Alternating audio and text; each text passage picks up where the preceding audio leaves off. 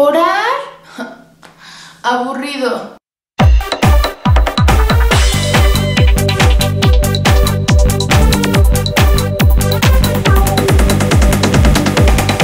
Hola amigos de Ami y Andy, bienvenidos a su devocional Discípulos de Jesús. Yo soy Miss Nat y estoy muy contenta de poder compartir con ustedes la palabra de Dios y juntos aprender a ponerla en práctica. Hoy quiero mandarle un saludo muy especial a Alicia de Argentina, Damaris o Damaris de Guatemala, a Mateo que tiene 11 años y su hermano de 9 que están en Argentina, a Rubén que nos saluda desde España, que nos manda muchos saludos y muchos mensajes, salúdame, salúdame, salúdame, a Carolina Moreno, a Jericel que nos saluda de Nicaragua, a Kira de Perú, a Nora que nos escribe de New Jersey y también a sus nietos, a Ruth Delia Frías Santillán, a Lisandro y Caterín de México, pero son de Argentina, y a Nicolás de 11 años y Santiago de 8, también a sus papás Carlos y Maribel Lobos que nos saludan desde España. Un saludo con mucho cariño. Amigos, el tema de hoy está hermoso. ¿Sabes por qué puse el título de este devocional así de orar de aburrido?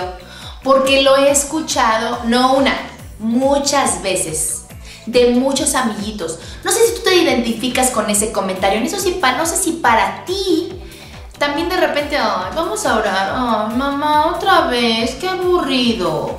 Buscar a Dios, ya, difícil. Orar, da aburrido. No sé si tú has pensado ese tipo de cosas, pero si sí, este devocional es para ti. Fíjate muy bien. Ojo, no te estoy criticando, ¿eh? Yo creo que yo cuando era niña también para algunas veces para mí era así como que, ay, otra vez orar, podemos ir a jugar, es más divertido. Pero hoy quiero mostrarte con la palabra cómo los discípulos de Jesús vivieron cosas sorprendentes en la oración. Y hoy quiero motivarte a que busques a Dios con una expectativa, que digas, sí, sí, sí, hoy que me va a enseñar Dios, hoy que me va a mostrar, hoy que me va a hablar. Deja de pensar que es aburrido. A ver, sacúdete esa aburrición. De, me lo sacudo la aburrición, fuchila, aburrición, bye. Fíjate, corre por tu Biblia porque la palabra del día de hoy está en Lucas 9, versículo 28. Lucas 9, versículo 28. Hoy vamos a hablar de la transfiguración y te lo voy a leer. Dice, aconteció como ocho días después de estas palabras que tomó a Pedro, a Juan y a Jacobo y subió al monte a orar. O sea, Jesús subió al monte y se llevó con él a Pedro, Juan y Jacobo. Y entre tanto que él oraba, la apariencia de su rostro se hizo otra y su vestido blanco resplandeciente. Y he aquí dos varones que hablaban con él, los cuales eran Moisés y Elías, quienes aparecieron rodeados de gloria y hablaban de su partida que iba Jesús a cumplir en Jerusalén. Y Pedro y los que estaban con él estaban rendidos de sueño, o sea, estaban muy cansados, mas permanecieron despiertos viendo la gloria de Jesús y a los dos varones que estaban con él. Y sucedió que apartándose ellos de él, Pedro dijo a Jesús, Maestro, bueno es para nosotros que estemos aquí y hagamos tres enramadas, una para ti, una para Moisés y una para Elías, no sabiendo lo que decía. Mientras él decía esto, vino una nube que los cubrió y tuvieron temor al entrar en la nube. Y vino una voz desde la nube que decía, este es mi hijo amado, a él oír. Y cuando cesó la voz, o sea, cuando se detuvo la voz, Jesús fue hallado solo y ellos callaron y por aquellos días no dijeron nada a nadie de lo que habían visto. Esta historia, amiguito, puede sonar así como, ay, ¿cómo? O sea, una nube bajó y los cubrió, o sea, y bajaron dos personas que en teoría ya estaban muertas. O sea, ¿cómo? Y luego escucharon una voz audible del cielo diciendo, este es mi hijo, a él oigan. ¡Wow! Qué fuerte, amiguitos. De verdad es que si tú y yo estamos conscientes de que la oración es poderosa, que la oración nos cambia, la oración, amiguito, nos transforma. Transforma nuestra cara de enojo que a veces tenemos todo el día así. sí, no quiero, no quiero estudiar. Uy, qué flojera. ¿Te ha pasado que a veces pintas una cara tan fea que dices, uy, qué feo te ves? Así, la oración, amiguito, nos transforma la cara, nos transforma el corazón, transforma nuestro entendimiento. ¿Sabes por qué? Porque en la oración suceden cosas que tú y yo no entendemos, cosas aún sobrenaturales. Y tú me podrás decir, Miss Nat, sí oro y a mí no me da flojera. Y nunca he visto cosas sobrenaturales. A lo mejor no has visto.